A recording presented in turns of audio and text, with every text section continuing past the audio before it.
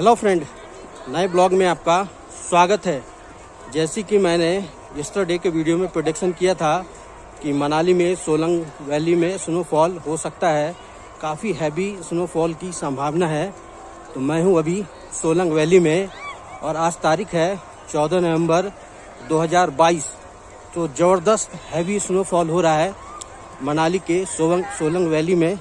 Morning से ही start हो गई है। काफ़ी ज़्यादा स्नोफॉल यहाँ पर। और अभी सिर्फ़ दोपहर का टाइम है और लगभग एक फीट के आसपास यहाँ पर स्नोफॉल देखने को मिला है। यही स्नोफॉल यदि लगातार कंटिन्यू होते रहे, शाम तक तो शायद यहाँ दो फीट से लेकर ढाई फीट भी स्नोफॉल हो सकता है। यदि हाल फ़िलहाल आप मनाली आने का प्लान कर रहे हैं तो अपडेट यही है, आपको कहीं जाने की ज़रूरत नहीं है। स्नो देखने के लिए स्नो में खेलने के लिए स्नो की एक्टिविटी करने के लिए जो भी करना हो, फुल मस्ती आप यहाँ पर आकर कर सकते हैं सोलंग वैली में ही, क्योंकि यहाँ पर टाइम से पहले ही स्नोफॉल हो गया है। जहाँ पर देखा जाता था कि दिसंबर के सेकंड वीक में स्नोफॉल होता था मनाली के सोलंग वैली में। लेकिन इस साल ऐसा हुआ है कि नवंबर 14 नवंबर को ही काफ़ी ज़्यादा बर्फबारी स्टार्ट हो गई है। तो अभी तो आज के दिन में अटल टनल तो बंद है। जब स्नोफॉल ख़त्म होगा रोड साफ़ होगी तो अटल टनल खुलेगा तो शायद एक दो दिन के लिए तो अटल टनल बंद हो चुका है। आज है चौदह नवंबर तो पीछे स्नो बाइक लगी हुई है तो स्नो बाइक में राइड करना चाहते हैं, वो भी कर सकते हैं। इस तरफ़ स्केटिंग की एक्टिविटी हो रही है, और साथ ही साथ पैराग्लाइडिंग की भी एक्टिविटी यहाँ पर स्टार्ट हो गई है तो बर्फबारी तो लगातार हो ही रही है। लेकिन स्नोफॉल कब होगा? तो आज आज का सिर्फ़ प्रडिक्शन है स्नोफॉल का।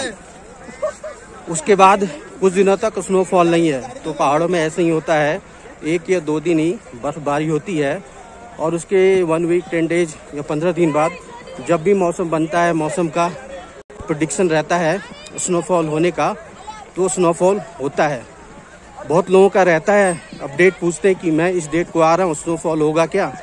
तो ऐसा नहीं है, यदि आपको प्रत्यक्ष लाइव बर्फबारी देखनी है तो आप गूगल में वेदर प्रडिक्शन देखिए, कब स्नोफॉल होने वाला है मनाली के आसपास या मनाली में, उसके एक दो दिन पहले आकर यहाँ पर स्टे करिए, यहाँ पर रुकिए।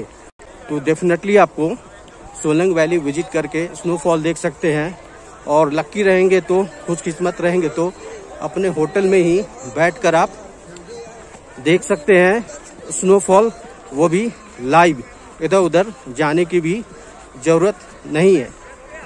यदि आप मनाली आ रहे हैं और सोलंग वैली तो सोलंग वैली जाना जाता है स्पोर्ट्स एक्टिविटी के लिए, खासकर जब बर्फबारी होती है तो बर्फबारी के समय में पहली एक्टिविटी स्केटिंग कर सकते हैं। दूसरा है स्नो बाइक में राइड कर सकते हैं। तीसरा है पैराग्लाइडिंग एक्टिविटी भी होती है स्नोफॉल भी हो रहा था, लेकिन फिर भी आपने देखा, पैराग्लाइडिंग तो हो ही रही है स्मॉल पैराग्लाइडिंग, ये छोटा वाला हज़ार रुपये का होता है, और जब स्नोफॉल होता है तो लंबी वाली पैराग्लाइडिंग तो नहीं होती है, वो बंद रहती है तो ये छोटी वाली है फाइव मिनट की पैराग्लाइडिंग। साथ ही साथ यहाँ पर एक्टिविटी की बात करें तो याक राइडिंग है तो याक राइडिंग पर घूम सकते हैं, यहाँ पर वो भी सौ रुपया लेते हैं, पाँच मिनट घुमाएँगे आपको याक पर बैठा कर इधर उधर आप घूम सकते हैं। उसके बाद यहाँ पर हॉर्स राइडिंग है तो हॉर्स राइडिंग भी कर सकते हैं याक राइडिंग के साथ ही साथ।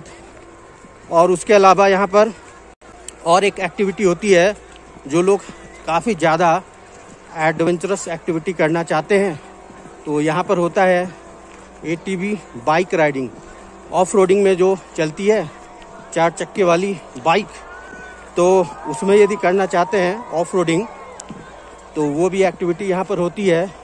लेकिन कुल मिला के सबसे ज़्यादा जो मज़ा आने वाला है, वो है बर्फबारी में। खासकर जब इस तरह की लाइफ स्नोफॉल हो, उसमें बर्फबारी में खेलने का, एक दूसरे के ऊपर बर्फ़ के गोले मारने का।